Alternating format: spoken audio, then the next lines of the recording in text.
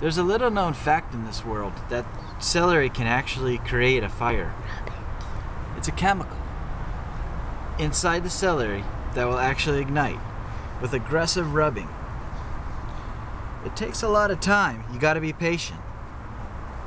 But with enough rubbing, you can, in fact, create a fire using two celery sticks. It takes time. Just be patient.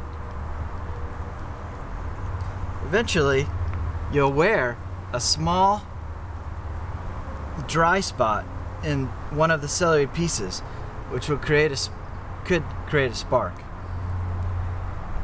Once you've done that, you place them down. You add a little turpentine spirit.